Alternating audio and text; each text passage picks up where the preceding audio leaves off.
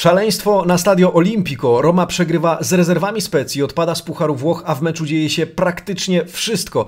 Tymczasem Milan dopina kolejne transfery, Juve i Napoli przygotowują się do wielkiego wieczornego starcia o Super Puchar Włoch, a do Łukasza Skorupskiego w Bolonii dołączy dwóch Polaków. Marcin Nowomiejski, poranny przegląd włoskiej prasy sportowej. Zaczynamy.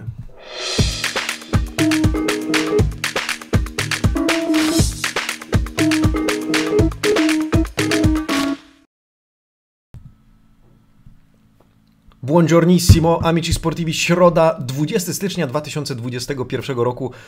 Nie pytajcie, to była jedna z najkrótszych nocy w moim życiu, no ale cóż zrobić, cóż począć, jeśli mecze nie mogą zakończyć się w ciągu 90 minut, a kończą się przynajmniej w trakcie 120.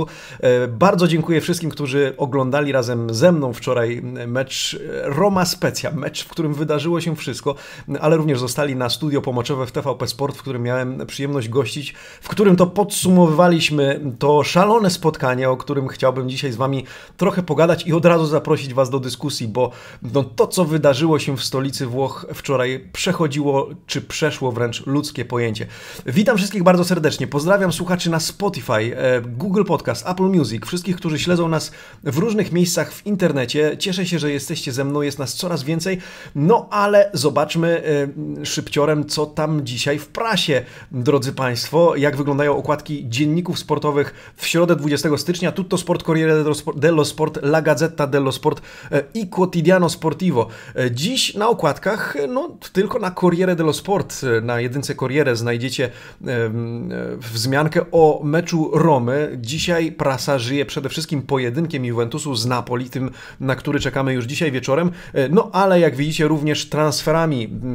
Mario Mandzukic już w koszulce Rossonerich, już w koszulce Milanu i zapowiada walkę o Scudetto ramię w ramię ze Zlatanem Ibrahimowiczem.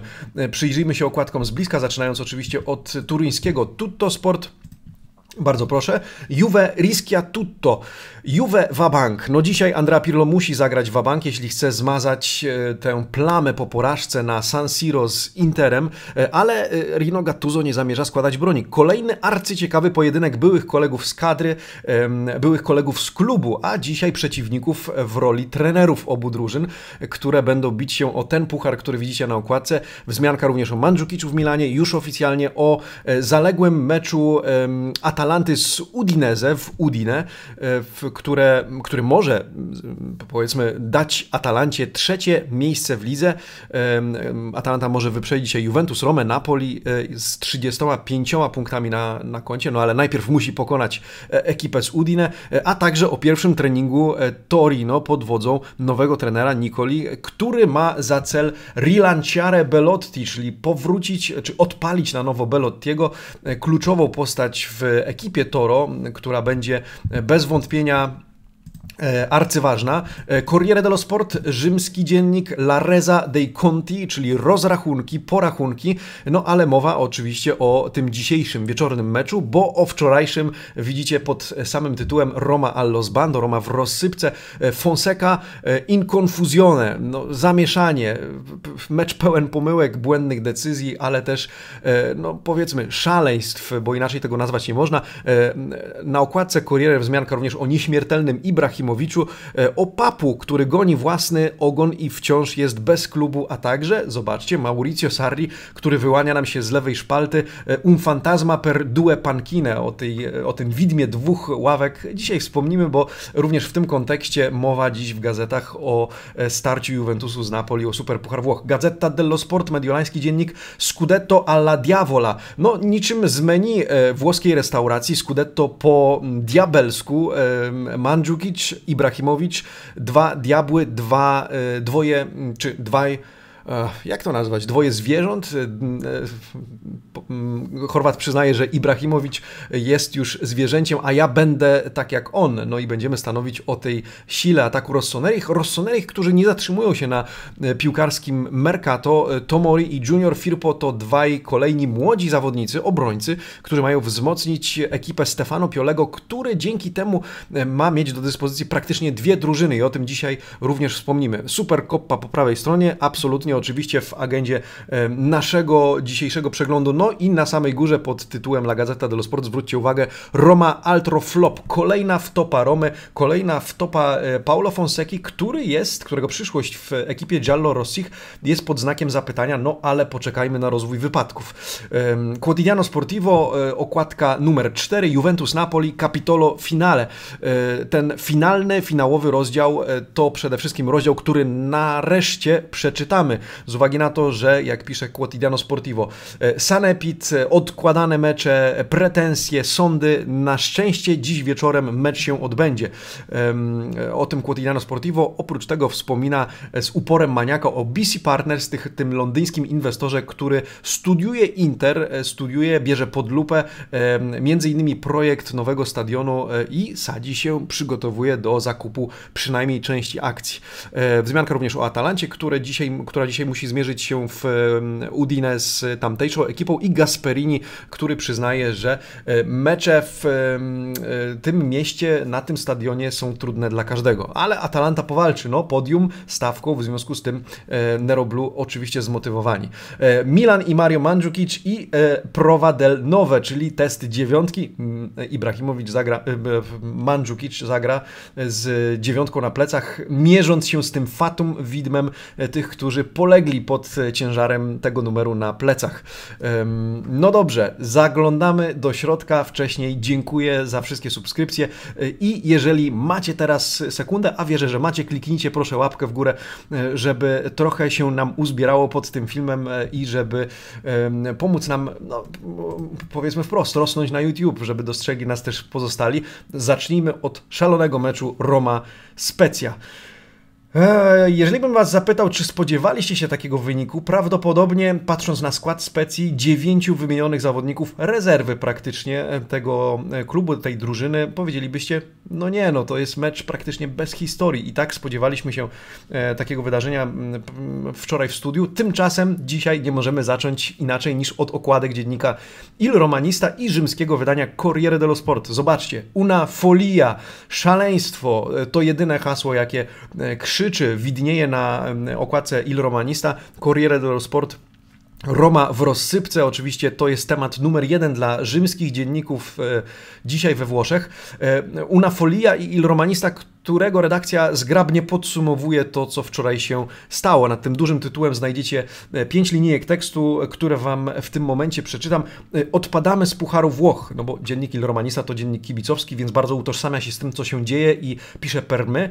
Odpadamy z Pucharu Włoch, przegrywamy nie tylko z rezerwami specji, ale również dlatego, że popełniamy błąd w liczbie dokonanych zmian. O tym też porozmawiamy. Tracimy dwie bramki w zaledwie kwadrans, zarabiamy dwie czerwone kartki w minutę, a na koniec dokonujemy dwóch zmian, które i tak wymazałyby wszystko, co zostało. Dziś ze wszystkiego, co nigdy nie powinno było wydarzyć się na Olimpiko, pozostają jedynie opary absurdu. Nie ma usprawiedliwień, nie można popełniać takich błędów, nie można ich powtarzać i nie można przejść obok nich, nich obojętnie. Należy zareagować natychmiast i tak jest już bardzo późno. O tym dzisiaj z okładki krzyczy e, pełen emocji Il Romanista, natomiast Corriere pisze o rozsypce, w jakiej Roma się znalazła. Specja pokazała charakter, specja po, pokazała ducha walki, mimo że grała rezerwową rezerwami. Tylko dwóch piłkarzy podstawowego składu, jakiego, e, jaki znamy na co dzień z rozgrywek ligowych. E, co ciekawe, Specja zostaje w Rzymie, bo już w weekend mierzy się z Romą ponownie, prawdopodobnie swoim silniejszym niż wczoraj składem, choć wczoraj z punktu widzenia agresji, ambicji, woli walki nie można Specji absolutnie na temat Specji powiedzieć złego słowa. E, Gazeta dello Sport pisze, to kolejna wpadka Romy, a Fonseca ryzykuje stanowisko, ryzykuje swoje swoją przyszłość w tym klubie. E, co za pokaz, co za wspaniały wyczyn Specji, która awansuje do ćwierćfinału. Zmierzy się z Napoli, które, no powiedzmy, nie ma zbyt dobrych wspomnień z, ze starcia z tą ekipą. E, ciekawostką jest to, że Gazeta dello Sport i Corriere zgoła inaczej oceniają pracę sędziego. Jak wy ją oceniacie? Bo Gazeta dello Sport ocenia sędziego na 6,5 i mówi, dobrze trzymał ten mecz w garści, nie popełniał błędów, karne słuszne, kartki słuszne, e, wszystko bardzo, no 6,5 dla sędziego to jest już dobra ocena, jeśli tak dzienniki u, u, ją przyznają. Tymczasem Corriere dello Sport mówi coś zupełnie innego mm, i daje sędziemu, zobaczcie, zauważycie to po prawej stronie, tylko 4,5.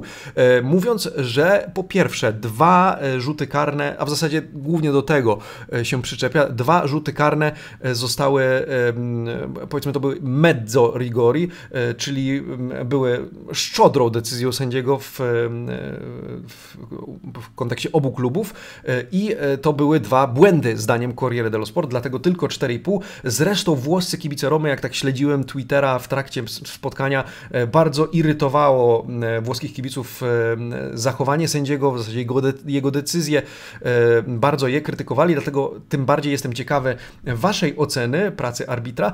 Tymczasem statystyki, 13 strzałów w specji, 8 na, w światło bramki, 17 strzałów Romy, 4 w światło bramki, ogrom zmarnowanych sytuacji. Po lewej widzicie Borche Majorala, który nie zaliczy tego wieczoru absolutnie do udanych. E, e, posiadanie piłki pół na pół powiedzielibyśmy. E, udane podania 82% po stronie Specji, 81% po stronie Romy. Nieco więcej podań wymienionych przez Specję, przez ekipę z Ligurii 632 kontra 606. Więcej wygranych pojedynków po stronie Romy 76 do 57. Dużo tych pojedynków jak na przeciętny mecz. No ale mieliśmy również dogrywkę. 19 dośrodkowań z akcji Rzymian, e, tymczasem 6 specji. E, w rzutach rożnych 7 do 4 również dla E, rzymskiej ekipy. La Roma perde la testa e la faccia. E, Roma traci głowę i traci twarz. No bo e, słuchajcie, to co wydarzyło się w dogrywce, e, po pierwsze dwie czerwone kartki w ciągu zaledwie e, jednej minuty. Niektórzy dziennikarze włoscy pisali czegoś takiego jeszcze w swojej karierze nie widziałem. Ale też szósta zmiana i tutaj, no słuchajcie, musimy doprecyzować, musimy wyjaśnić, bo nawet wczoraj w studiu pomeczowym powiedziałem, że ta zmiana była możliwa, bo IFAB, czyli ta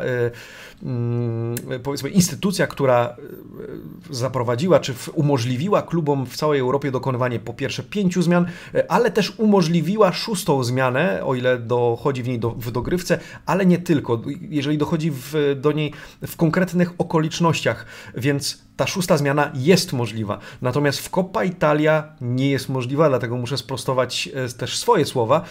Słuchajcie, i o tym dzisiaj pisze Gianluca Di Marzio, oczywiście kluczowi, czołowi dziennikarze, ale też Gazeta dello Sport i Corriere i wyjaśnijmy tę sprawę. Roma przegrałaby ten mecz walkowerem, nawet gdyby nie uległa specji w sportowy sposób.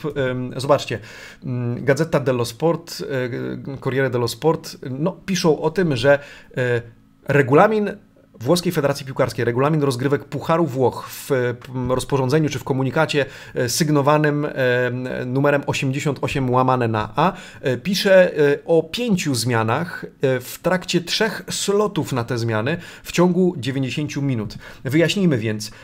Czwarty slot jest możliwy w dogrywce, którą mieliśmy wczoraj, więc czwarty slot wykorzystany przez Romę był w porządku, natomiast to nadal może być pięciu graczy. Czwarty slot jest możliwy i piąta zmiana może być dokonana, o ile nie została wykorzystana w regulaminowym czasie gry. W związku z tym Paulo Fonseca i kierownik drużyny, który dopuścił do tej zmiany, popełnili ogromny błąd, e, który kosztowałby ich, podobnie jak w meczu z Elasem Diawara wpisany nie na tę listę, co trzeba, kolejny walkover. E, więc Roma musi się ogarnąć troszeczkę, jeśli chodzi o przepisy.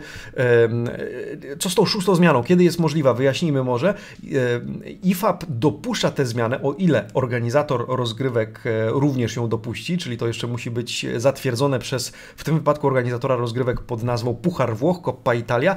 Jeżeli dojdzie do kontuzji, która stanowi o ryzyku na, na zdrowiu i życiu zawodnika. Mowa na przykład o kontuzji głowy. Więc jeżeli do takiej doszłoby w trakcie meczu, do takiej groźnej, z powodu której piłkarz musi być absolutnie e, i bez wątpienia zdjęty z boiska, wówczas to drużyna jest uprawniona do wprowadzenia szóstego e, zmiennika e, w trakcie, w trakcie meczu. Wczoraj oczywiście takiej sytuacji nie było, czerwone kartki nie są tego usprawiedliwieniem, ale słuchajcie, ciekawostka, ciekawa drużyna Pellegrini, który został na, w, w dogrywce na boisku, zwraca uwagę na to, że tej zmiany nie powinno się dokonywać. Zgrałem taki krótki shot, jeżeli macie ochotę to zerknijcie chociażby na Twitterze, krąży to wideo, gdzie Pellegrini odzywa się do Gombara, woła Gianlu, do Gianluki Gombara, to jest kierownik drużyny Romy i wypomina, to znaczy zwraca uwagę, questo e il sesto, to szósta zmiana. Trochę zagubiony Fonseca obok Pellegriniego, 94 minuta, dwie czerwone kartki na koncie Rzymian. No i faktycznie Pellegrini był jednym z tych bardziej trzeźwych na, na boisku, który zwraca uwagę, chwila, to jest już szósta, nie możemy dokonywać tej zmiany, podczas gdy e, faktycznie się odbyła, no i, e, no i cóż, no i Giallorossi przegraliby tak czy inaczej. O tym dzisiejsze dzienniki zapytano o to Fonsekę, który powiedział ten artykuł i ten wywiad, który widzicie tutaj tylko w rzymskim wydaniu Corriere dello Sport. Po pierwsze, Fonseca powiedział, że jeżeli faktycznie ta zmiana była błędna, no to musimy omówić to wewnętrznie, jeżeli problem istnieje, to poradzimy sobie z nim wewnętrznie. No ciekawe, co by powiedział, gdyby Roma wygrała i e, ta zmiana przesądziłaby o jej porażce przy zielonym stoliku. E, no ale e, dzisiaj gazety piszą, Fonseca jest na skraju przepaści, to znaczy może zostać zwolniony natychmiast. Nie dojdzie do tego tylko z powodu zbliżającego się meczu ze Specją ligowego. W najbliższy weekend Specja zostaje w Rzymie, zresztą ma się spotkać z papieżem. Mm, przy tej okazji, więc e, może spędzić kilka sympatycznych e, dni w dobrym humorze w stolicy e, Włoch. Tymczasem Fonseca mówi, czy zostanę zwolniony, czy moje stanowisko jest pod znakiem zapytania, moja przyszłość, odkąd jestem tu zatrudniony, to cały czas jestem indiskusione, jak mawiają Włosi, czyli gram o swoje stanowisko, gram o swój los. W związku z tym wydaje się nie przejmować, ale mówi, my musimy zmienić swoją mentalność, musimy popracować, musimy podnieść się mentalnie. Roma, która do tej pory rozgrywała dobre pierwsze połowy i e, zaliczała blackouty w drugiej, dostała dwa ciosy od Specji w pierwszym kwadransie, e, w tym bardzo ładną bramkę Saponary, który był wczoraj ewidentnie graczem meczu. E, no i dzisiaj burza we Włoszech, burza w dziennikach, Fonseca pod znakiem zapytania, Friedkinowie mają zastanawiać się, czy go nie zwolnić, czy z nim współpracować. Oczywiście na razie to wszystko pod wpływem emocji. Decyzja ma zostać podjęta wspólnie z Tiago Pinto, z nowym dyrektorem generalnym odpowiedzialny za cały sektor sportowy.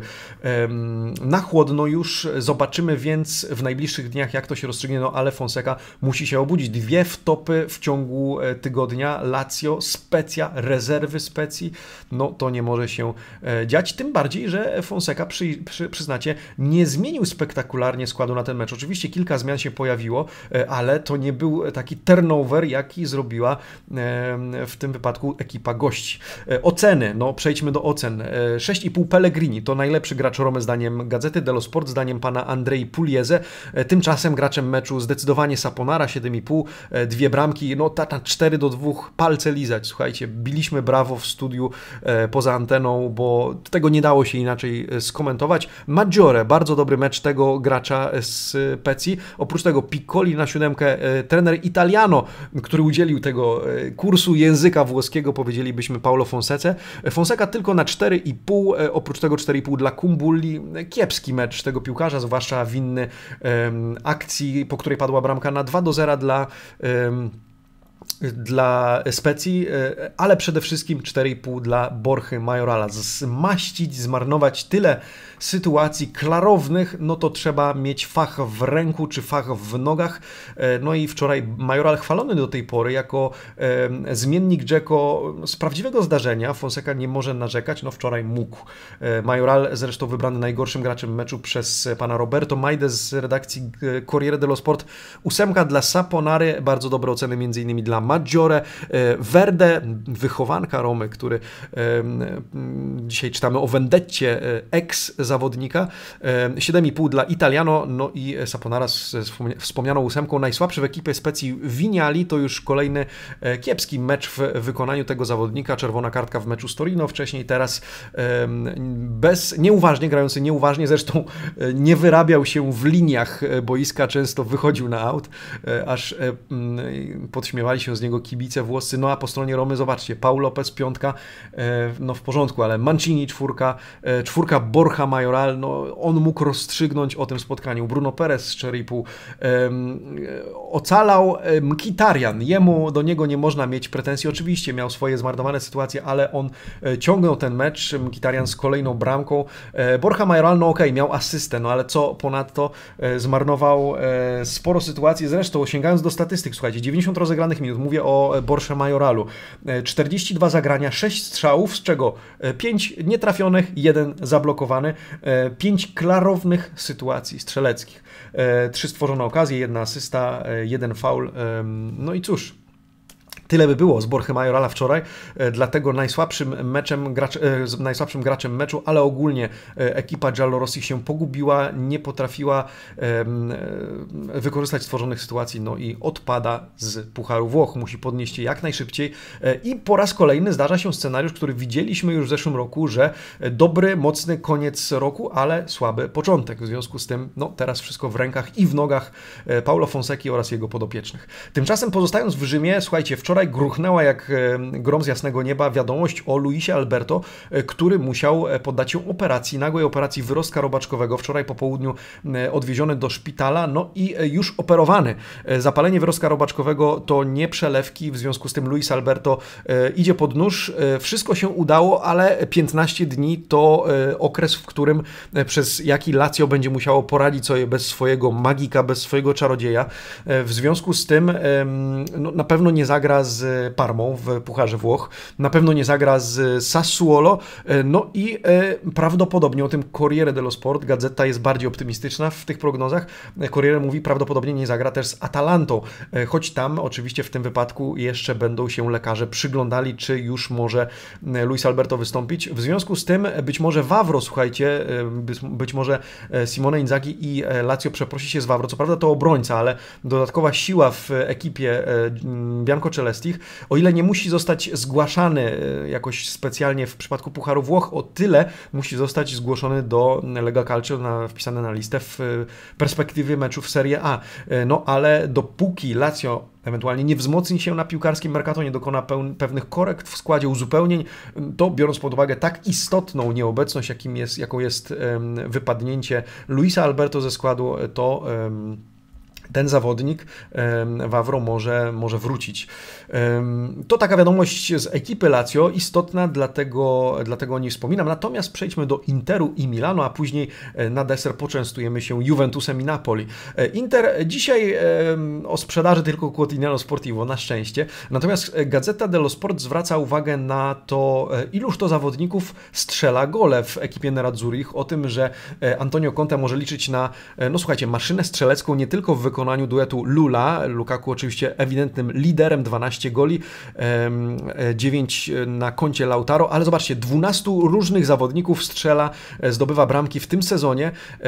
Nikt nie strzela e, głową, tak jak gracze Interu. 10 e, bramek zdobytych po uderzeniach głową, 18 z lewej nogi, po strzałach z lewej nogi, 14 z prawej, 3 no, samobuje, 39 w sumie bramek zdobytych w, z obrębu pola karnego, e, ale strzelają niemal wszyscy. No praktycznie gdybyśmy z tej, z tej dwunastki chcieli ułożyć skład, to praktycznie jeszcze jeden by nam się został, e, ostał w zapasie. 14 e, goli w pierwszej połowie, 31 w drugiej. Mówimy o tych lepszych połowach, odrabianiu stat przez Neradzurich. No i ten artykuł jest taki bardziej ciekawostkowy, bardziej rozpracowuje Inter pod tym względem, jak te, ten najlepszy atak w lidze, bo o tym przecież mówimy, sprawuje się w tym sezonie. Mm, natomiast Corriere dello Sport zwraca uwagę na sylwetkę. Wczoraj mówiliśmy o Barelli, dziś o Barelli też jakieś niewielkie, e, krótkie artykuły, ale dzisiaj w Corriere dello Sport znajdziecie e, tekst pana Pietro Guadagno na temat, e, słuchajcie, Bastoniego. Bastoni, który zaliczył fantastyczną asystę w meczu z Juventusem, zagranie do e, Barelli e, ala Leonardo Bonucci z najlepszych czasów powiedziałbym, e, ale prototyp, perfekcyjny prototyp tego, czego chce Conte, czyli długie zagranie na Barelle, na, w tym wypadku na pomocnika, ale też na napastników, na piłkarzy wchodzących w pole karne. I artykuł o tym, że jeszcze w 2017 roku, 3,5 roku temu, wydawało się, że 31 milionów, za, które zapłacił zapłacił Inter Atalancie za 18-latka. Wydawało się to szaleństwem, natomiast dzisiaj możemy mówić o kimś, kto jest jednym z filarów, jednym z liderów obrony ekipy Antonio Conte. 21 lat na karku, dopiero 54 mecze, dwa strzały do bramki w barwach Interu. No i cóż, dzisiaj już czytamy o tym, że trzeba chłopaka kontraktować na razie bodajże do 2022 roku, jeśli dobrze pamiętam, kontrakt. Natomiast już czytamy, że trzeba tutaj działać, bo e, żeby nie uciekł Manchester City, gdzieś tam się mu przyglądał, ale agent Bastoniego, e, pan Tullio Tinti na antenie radio, Rai Radio Uno Sport e, przyznał, że na razie nie ma problemu, żadnego chłopak może poczekać, niech się rozwija, niech gra, niech zalicza kolejne istotne występy, no bo w domyśle zarobi na wyższą pensję, kiedy do tych rozmów dojdzie. Możemy tylko zachwycać się ostatnim meczem Barelli Bastoniego, w związku z tym e, nie dziwne, że dzisiaj wspomina o tym też prasa. Natomiast Gazeta dello Sport e, publikuje wywiad z Hernanem Crespo, który, jak wiecie, reprezentował barwy e, obu mediolańskich klubów Milanu i Interu. Crespo wypowiada się na temat e, losów e, dzisiaj, e, tego sezonu, na temat losów Scudetto i tej walki dwóch mediolańskich, dwóch lombardzkich ekip o tytuł mistrza Włoch. Crespo, który nie może nie być zadowolony i ten uśmiech absolutnie pasuje do tego artykułu. Telefoniczny wywiad autorstwa pana Andrei Skiankiego z redakcji Gazety dello Sport. Wywiad, w którym Crespo oczywiście dotyka wyłącznie tematu Interu i Milanu w kontekście rywali, których pokonują. Mówi, Inter rozegrał idealny mecz, partita perfetta z Juventusem. Co mu się podoba najbardziej w ekipie Interu? Konkret. Konkret, e, który zdaniem Crespo widać w, e, na boisku, e, że oczywiście energia, fizyczność, ale też technika.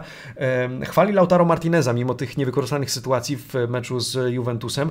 Milan się nie poddaje tymczasem. Crespo mówi, że sukces w Cagliari nie był tak oczywisty, że to, co wykorzystuje Pioli to oczywiście to, co już wiemy, to, co dyskutujemy, czyli miks e, młodości z doświadczeniem, energia młodych z mądrością Ibrahimowicza i spółki tych bardziej doświadczonych i to jest wartość dodana w ekipie Rossoneri, zdaniem Crespo w tym wywiadzie. E, kto wygra ten mecz, ten, ten pojedynek o Scudetto?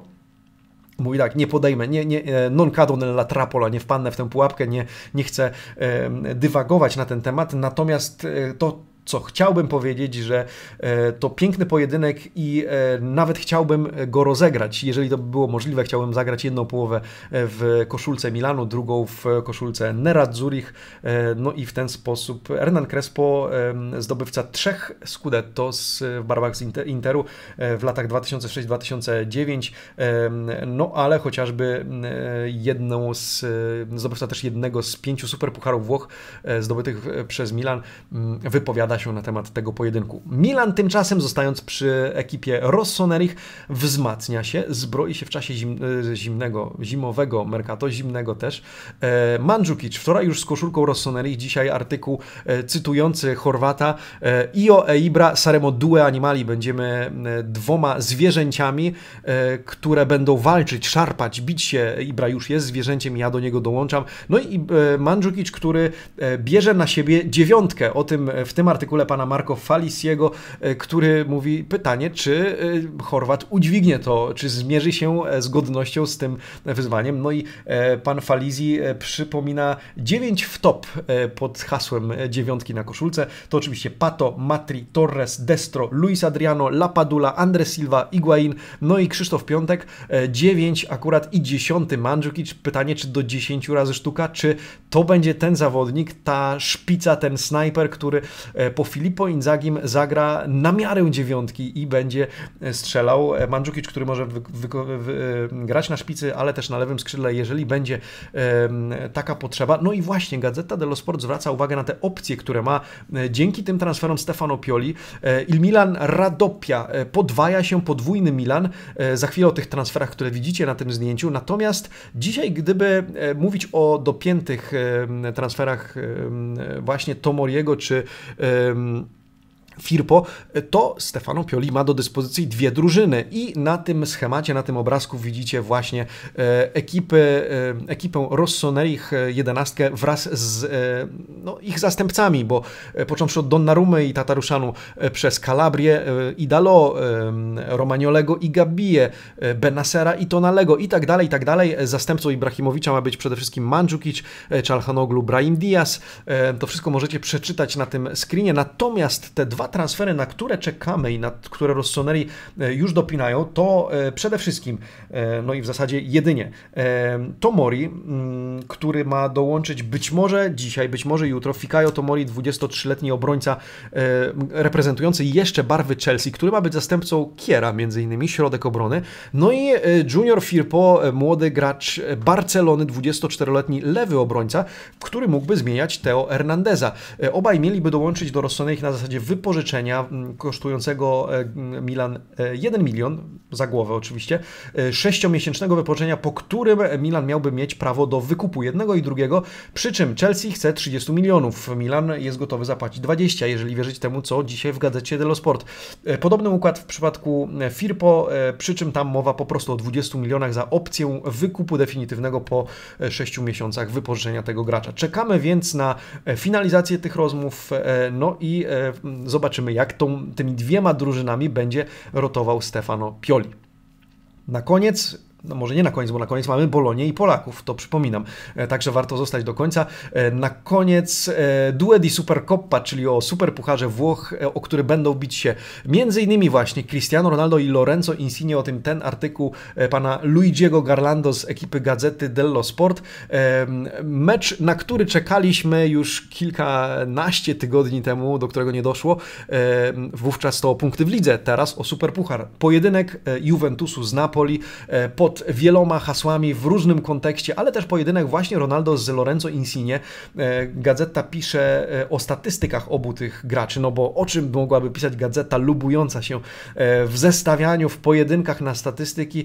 Obaj gracze, którzy robią dużo szumu na lewej, na lewej flance, ale też w polu karnym przeciwnika. Ronaldo z nieco lepszymi statystykami pod każdym względem poza poza dwoma e, aspektami, bo więcej goli, więcej strzałów na bramkę, zresztą e, Ronaldo z największą liczbą strzałów na bramkę w całej lidze, w całej Serie A, średnio dwa na mm, mecz Natomiast e, palle recuperate, czyli odzyskiwane piłki, słuchajcie, Ronaldo 1,93 średnio na mecz, Lorenzo Insigne 5,43. To należy zauważyć, tę pracowitość e, Lorenzo Insigne również przy odbiorze piłki. E, natomiast web w web idą, jeśli chodzi o driblingi. Średnio udanych driblingów 1,93 na mecz. No i to będzie jeden z tych aspektów tego meczu, ale nie jedyny pojedynek. Z uwagi na to, że chociażby Gazeta dello Sport zestawia innych graczy. Na przykład Kulusewski kontra Petani Petania. Obaj mają wystąpić w podstawowym składzie, choć Kulusewski w lepszej formie fizycznej, bo Petania poobijane i na to zwraca uwagę Rino Gattuso. Bentancur e, kontra Demme. E, no, tutaj postawiłbym raczej na Demme. Zdecydowanie lepszy występ tego gracza w porównaniu z tym, co odstawia ostatnio e, Bentancur, mimo że jak widzicie 81 do 33 pod względem odzyskanych piłek w środku pola. Zobaczymy, może to będzie mecz na przełamanie Bentancura. No i trzecie Artur kontra Zieliński, choć trudno trudno zestawiać tych graczy e, w perspektywie ról na boisku, e, to e, tutaj w tym artykule czytamy Zieliński w zdecydowanie lepszej formie. Zresztą w gazecie czytamy, że Zieliński uznawany jest dzisiaj za gracza w najlepszej formie spośród wszystkich zawodników Napoli. No dorzuciłbym tego Insigne mimo wszystko, albo Lozano. Natomiast Zieliński zdecydowanie może grać oczywiście za napastnikami, jak czytamy, może grać jako mezzala, może grać jako środkowy. Tymczasem Artur może grać jako play, ale w tym meczu ma prawdopodobnie e, pełnić rolę półskrzydłowego, prawdopodobnie e, lewego, no i tych prawdopodobnie, jak widzicie, jest dużo, bo wszystko okaże się wieczorem, ale ten mecz, trzeba zaznaczyć, odbywa się w atmosferze nie tylko piłkarskiej, ale też całej otoczki, no bo to Juventus Napoli, pojedynek, do którego nie doszło, pojedynek o odwołanie którego, o walkover, w związku z którym i o wszelkie polemiki, pretensje mieli kibice obu ekip, włodarze również, no i o tym dzisiaj pan Alberto, Pol, Albert, Alberto Polverosi z ekipy Corriere dello Sport w tym artykule. Wirus, Giudici, Veleni, Akuzę, no właśnie, wirus, sędziowie, pretensje, oskarżenia, to niekończąca się historia. Pojedynek Juve-Napoli do takich należy. Sfida Antica, historyczny pojedynek, historyczne starcie. No i właśnie, w tym samym kontekście, w otoczce pojedynku, do którego w końcu dojdzie i który będziemy mogli zobaczyć, e, dzieje się, dzieją się przygotowania.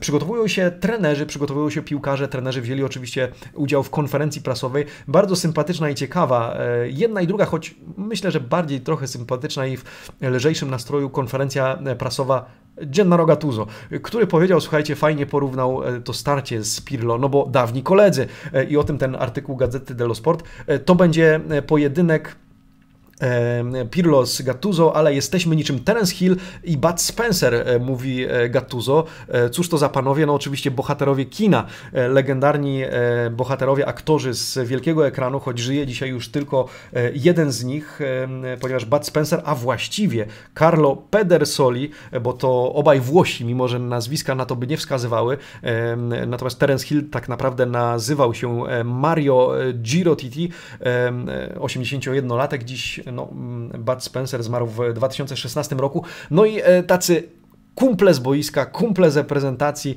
e, a dzisiaj przeciwnicy zmierzą się ze sobą. W tym artykule e, przypomnienie tego, co znajdziecie również w autobiografii Andrei Pirlo, myślę więc gram, czyli o tych żartach, e, które Pirlo sprawiał, fundował Gennaro Gattuso chociażby na zgrupowaniach w Coverciano. Przytoczony jeden z nich, kiedy to Gennaro Gattuso został obudzony w środku nocy przez walącego do drzwi jego pokoju Andrea Pirlo i De, Ross, De Rossiego.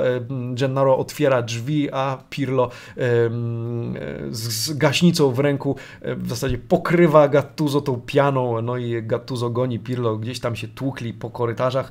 E, no te żarty, oczywiście fantastyczna atmosfera, przyjaźń z czasów Milano, z czasów reprezentacji e, pomiędzy dwoma dzisiaj trenerami, no i to kolejny pojedynek, na który ostrzyliśmy sobie zęby przed tym sezonem, bo mówiliśmy o tej karuzeli Conte, Pirlo, Simone Inzaghi, Filippo Inzaghi, Gennaro Gattuso, no i dzisiaj to zestawienie Pirlo kontra Gattuso.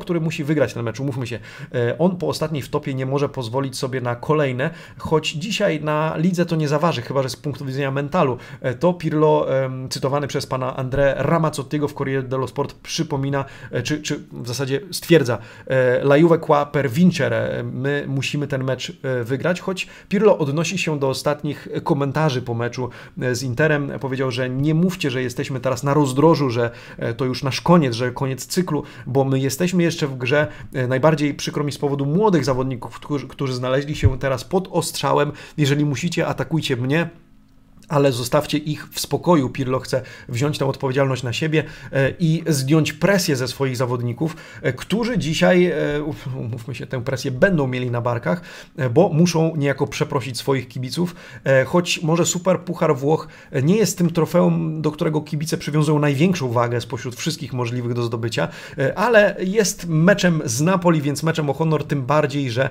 ostatnio Juventus z Napoli przegrał. w związku z tym musi odegrać się też za ostatnią porażkę. Od dwóch lat nie zdobywa tego trofeum, więc Pirlo będzie chciał e, to e, trofeum zdobyć, e, swoje pierwsze w tym sezonie. Przewidywane jedenastki, bardzo proszę. Corriere dello Sport i Gazeta dello Sport. W bramce Szczęsny, zacznijmy od Juventusu, e, od prawej strony Danilo, Bonucci, Chiellini, Bernardeschi na lewym wahadle, o tym mówiliśmy już wczoraj. E, z prawej strony w drugiej linii Kieza, Artur Bentancur, Makini, e, w ataku Kulusewski, Ronaldo. Gazeta wymienia te same nazwiska, ustawia je w bardziej sensownym chyba ustawieniu 3-5-2.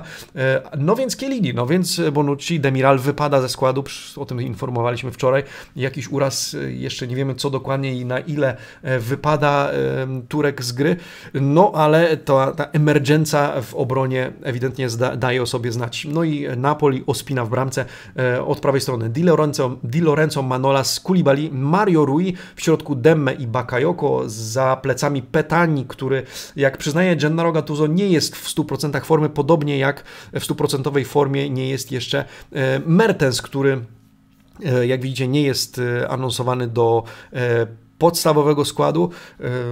No cóż, na ławce wymieniane tylko przez Corriere dello Sport to chyba jakieś przeoczenie gazety. Natomiast jeszcze powiedzmy o tej trójce grającej za plecami Petani, Lozano, Zieliński oraz, oraz Lorenzo Insigne. Ten mecz odbywa się również w kontekście historii Maurizio Sarriego i o tej historii dzisiaj Corriere dello Sport e, z uwagi na to, że e, Sarri trenował oba kluby i to przypomina rzymski dziennik, pan Iwan Cacaroni, Il Fantasma del Gioco, no to widmo gry. E, Sarri, który, jak pisze pan Cacaroni, z, mm, poświęcił miłość do Neapolu i do Napoli dla Juventusu, no i nie wyszło.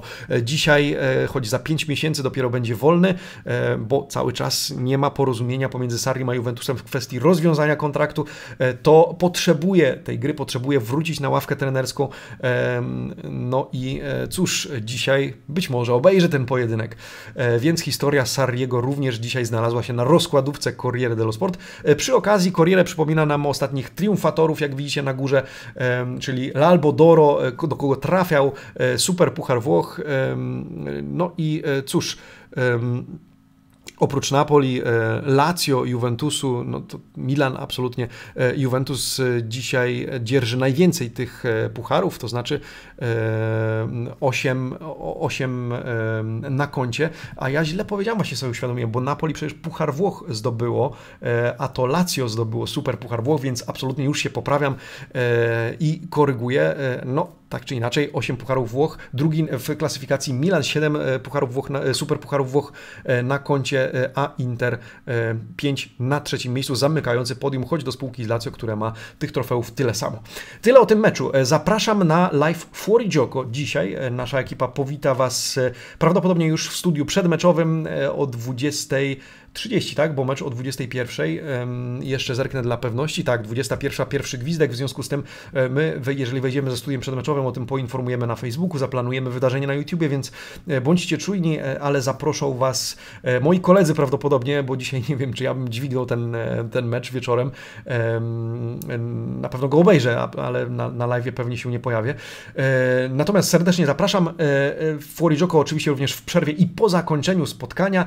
Tymczasem na koniec ciekawostka, ale istotna dla nas, Polaków, z uwagi na to, że e, Bolonia, oprócz Łukasza Skorupskiego, który jest e, obecnie w składzie e, ekipy mm, z Sinishi Michajlowicza może za chwilę mieć kolejnych dwóch Polaków w składzie i o tym dzisiaj Corriere dello Sport na rozkładówce. E, Świderski to jeden z zawodników, 23-letni gracz e, Pałk Saloniki, mm, napastnik, który za chwilę może trafić na zasadzie wypożyczenia z prawem do pierwokupu, czy w zasadzie z prawem do wykupu za 5-6 milionów euro, ale za chwilę ma też przechodzić testy medyczne. Młody 16-letni gracz Lechii Gdańsk Kacper Urbański Szymański, e, trekwartista, ofensywny pomocnik, który e, za chwilę również ma e, przywdziewać te same barwy co Łukasz Skorupski. W związku z tym lada chwila może okazać się, że Sinisia Michajlowicz, który jak wiemy lubi stawiać na młodzież, będzie miał do dyspozycji mm, zarówno Urbańskiego, jak i Świderskiego. Na razie jeszcze nie wiadomo na ile będą, ile miejsca znajdą w ekipie mm, Bolonii ci dwaj gracze, ale ciekawa sprawa, no coraz więcej Polaków. Wczoraj sprawdzałem, jeżeli się nie mylę, 13 obecnie gra w Serie A, no i może dołączyć do nich kolejnych dwóch.